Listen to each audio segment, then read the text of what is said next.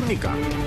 최소한의 안전수칙을 지키지 않는다면 당신도 언제든 황당한 사고의 주인공이 될 수 있습니다. 아니, 안영민 씨 정말 고생하셨습니다. 저 팬이에요. 화이팅!